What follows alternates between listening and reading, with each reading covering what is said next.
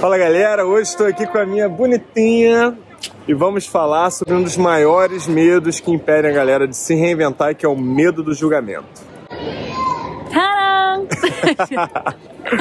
Ai, muito bom.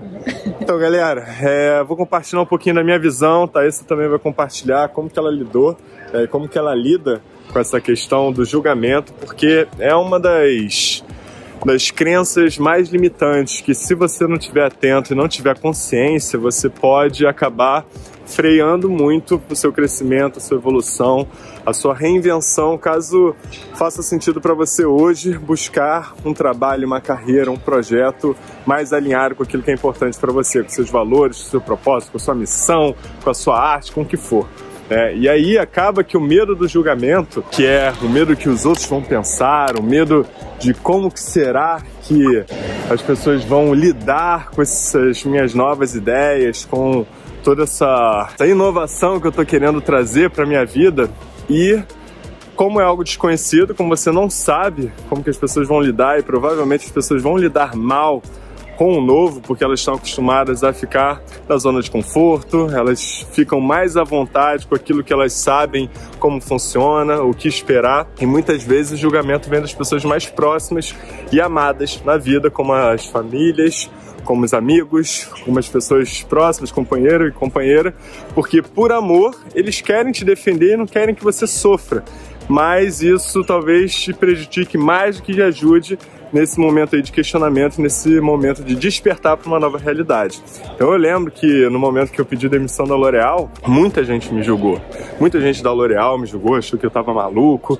Muita gente, amigo meu, falou: Cara, você tá doido? Você é diretor numa grande multinacional, com uma grana boa, vivendo a vida dos sonhos, com a Thaís, num apartamento legal, os caralho é quatro.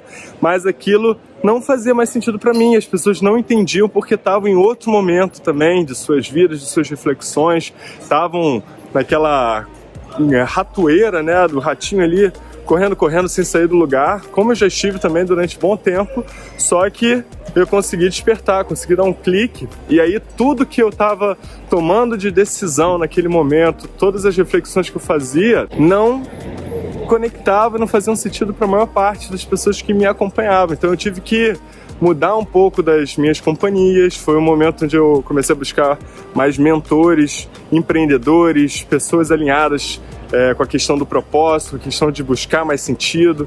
Comecei a andar com mais questionadores, fiz novas amizades, participei de novos ciclos e isso me ajudou a ser mais compreendido e ter uma, um, um, uma, um desapego do julgamento dos outros. Mas é algo que eu ainda lido porque nós somos seres sociais, nós somos seres que nos importamos naturalmente porque os outros pensam, já que a gente está dentro de um contexto onde precisamos interagir o tempo todo com pessoas, né, e o que as pessoas pensam acabam tendo um peso muito grande na nossa felicidade, e é uma dinâmica super aprisionadora porque você sempre vai depositar sua felicidade ou o jeito como você se sente, a sua satisfação em relação ao julgamento do outro. E o outro você não pode controlar. Então isso é um desafio muito grande que eu acho que todo mundo que está buscando uma mudança, buscando uma reinvenção, vai acabar sofrendo. Então, Amore, fala um pouquinho também de como que foi a sua gestão aí do, com, com o julgamento dos outros, que eu sei que para você é, ainda é um, um desafio para a gente, né? Ainda é, principalmente quando a gente produz conteúdo, quando a gente está nas redes sociais, quando o nosso projeto depende né, do resultado na vida de outro tal. Me fala um pouquinho como foi essa experiência aí.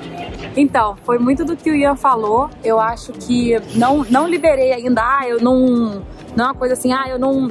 Eu não tô nem aí pro julgamento dos outros. Acho que não, acho que a gente não consegue eliminar isso de vez, pelo menos eu não consegui, mas tem formas de minimizar. Então acho que a primeira coisa, eu era uma pessoa, sempre foi uma pessoa que se importou muito com o que os outros pensam. Sempre me importei bastante. Ai, será que a fulana vai gostar? Será que fulano vai achar que é legal? E principalmente as pessoas mais próximas a gente, como você mesmo até falou. Então acho que, assim, primeiro eu acho que é entender que existem dois tipos de pessoas que estão te julgando. Uma das pessoas, foi o que você falou, é por amor então acho que a gente tem que respeitar, porque são pessoas que desconhecem uma mudança como essa. Então na minha reinvenção de carreira, eu sofri um julgamento muito forte no início do meu pai, mas que você vê assim que era medo dele por desconhecer. Imagina só, nossos pais, né?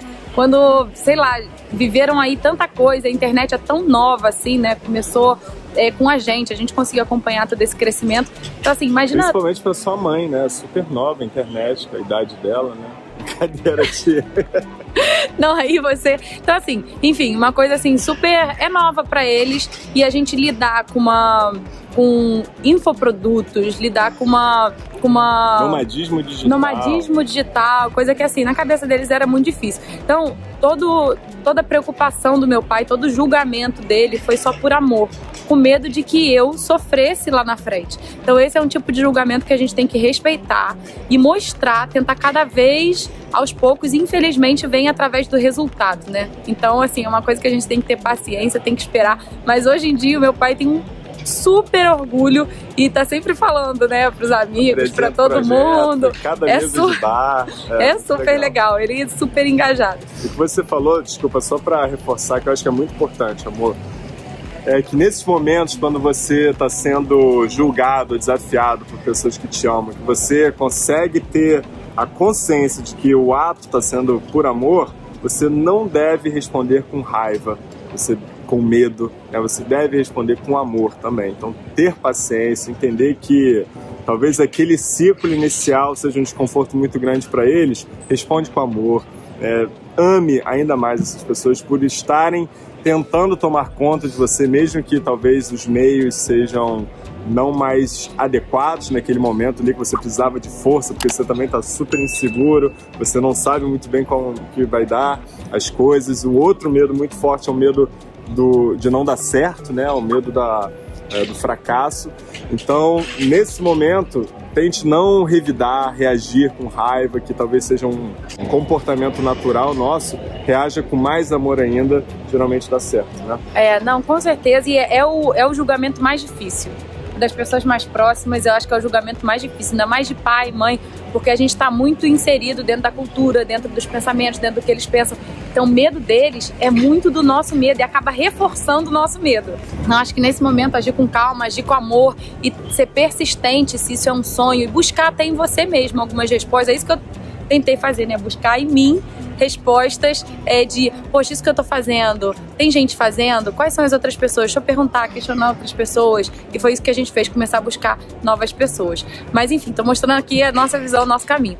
O segundo julgamento é de pessoas que te criticam porque elas acham que elas é, elas veem um resultado muito legal, por exemplo, ah, ter uma vida como nômade, é o máximo né? Mas elas, a partir do momento que você consegue uma vida como essas, ou uma vida de mudança de carreira, enfim, seja lá a mudança que você está fazendo, a partir do momento que você conseguir, essa pessoa ela se sente pressionada socialmente para conseguir também porque ela vê que é um resultado possível. Só que para ela conquistar isso, talvez não seja o que ela queira, mas para ela conquistar, ela tem que se esforçar a mesma coisa que você se esforçou.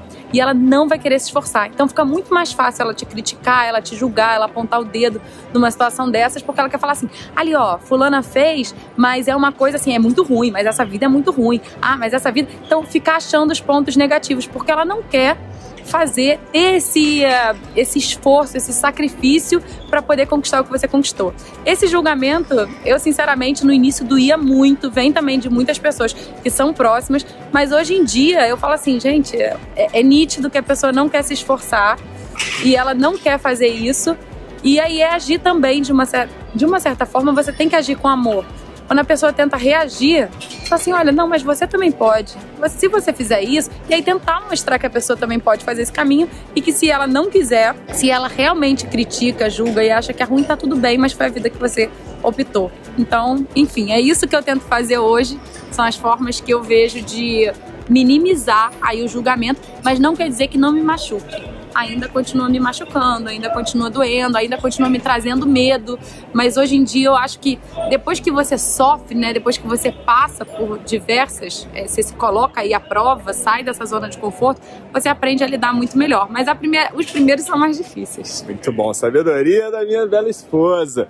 E aí, só para completar aqui o pensamento, acho que também tem um, uma terceira forma de você lidar com julgamentos que talvez seja aquela menos romântica, mas mais eficaz, que é ligar o f...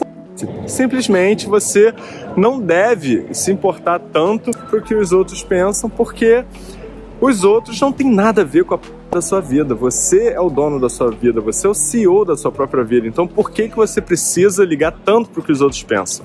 É, ninguém paga a sua conta, você é responsável, você é adulto e você cuida das suas próprias decisões e arca com as suas consequências.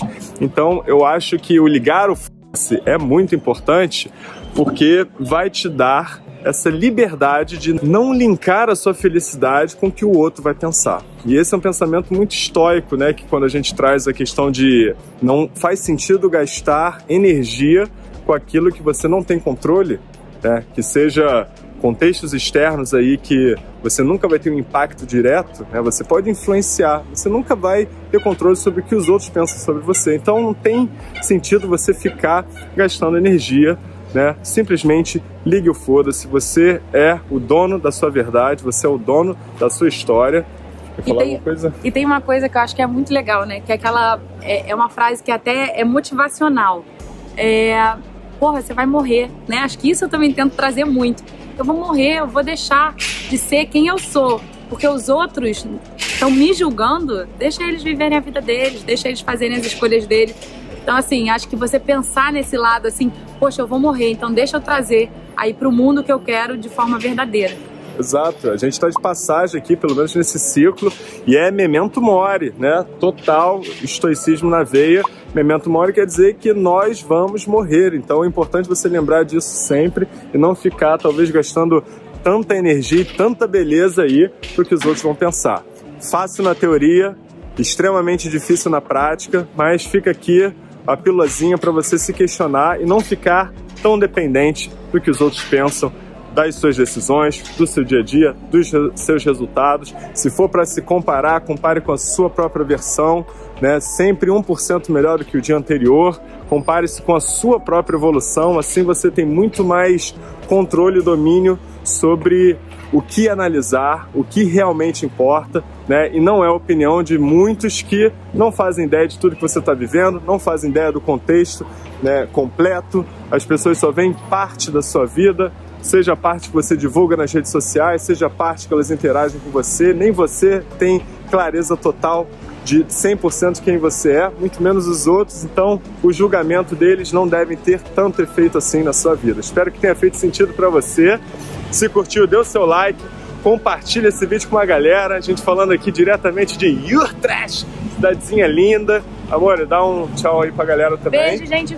Espero que eu tenha ajudado aí, contribuído um pouco para vocês terem aí na prática como é que dá para fazer uma. dá para minimizar. Não dá para erradicar.